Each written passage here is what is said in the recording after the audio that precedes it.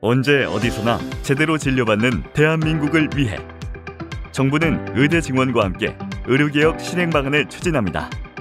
하나, 우수인재 양성을 위해 전국 의대에 5조 원 투자.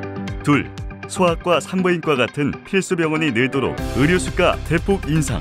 힘든 만큼 충분하게 보상. 셋, 의료 사고가 발생해도 환자는 제대로 보상받고 의사는 진료에 전념할 수 있게 의료 사고 안전망 구축.